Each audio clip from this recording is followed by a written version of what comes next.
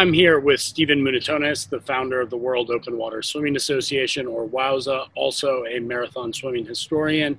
We are just days away from the Tokyo Olympic Games, so we're profiling the fastest 25 men and 25 women competing in the Olympic 10K marathon swim in Odaiba Marine Park. Today we're talking about the German, Leonie Beck. Steven, what can you tell us about Leonie? Yeah, the 24 year old German, uh, like her uh, teammate uh, um, is really an interesting um, individual in this race. The reason why is she's got a 56.5 best time in the 100 meter freestyle. That means if she's in the lead pack in the last 100 meters of the race, there's nobody faster, all things being equal. So she's got a closing speed, and that helped her get ninth place in the 2019 World uh, Swimming Championships. That's why she's seated ninth here in Tokyo. Um, you know, she's she's a great she's a great swimmer. Um, water's flat, water's warm, um, and it just depends how she is going to play the navigational game, the the the uh, physicality game you know, uh, there will be, we always say it's a lot tougher. There's a lot more physicality, elbows, pullbacks, all kinds of things in the women's field versus the men's field. The women's field is really, really difficult for FINA race officials to call. Um, the women are just, they just go at it. Men tend to be a little less um, aggressive. The women are definitely aggressive.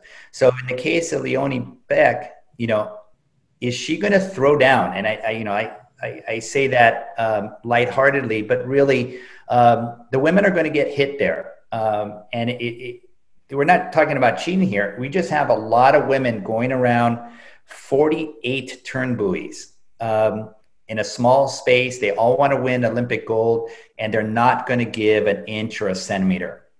So, so that bottleneck coming around the turns is so critical, Steven. And I know it really that's when you see the physicality come out. And you think Leonie is well positioned, given her size, her strength, and her willingness to be aggressive? I, I don't know. We'll, we'll see how she performs under pressure. I mean, you know, her problem is not her problem. Her obstacle is she's got plenty of women out there who have decades of experience under their belt. You know, people like Ana Marcela Cunha, people like um, Haley Anderson, uh, people like Xin Xin of, of China, uh, Ashley Twichell of the USA. So she's got a lot of competitors. Uh, she's a great swimmer herself, but is she at that level? Um, she's 24, so she probably has another Olympics in her, and um, I expect her to be back. So she's young, she's she's fast, She's competing in a stacked field. What's your final prediction, Steven? Top 10 for sure. Definitely top 10. If, you know, she can be in the top five uh, and they're in the lead pack uh, with 100 meters to go, her 56 500 meter time is going to serve her very well. Right. We'll be watching. Thanks so much, Stephen. Welcome.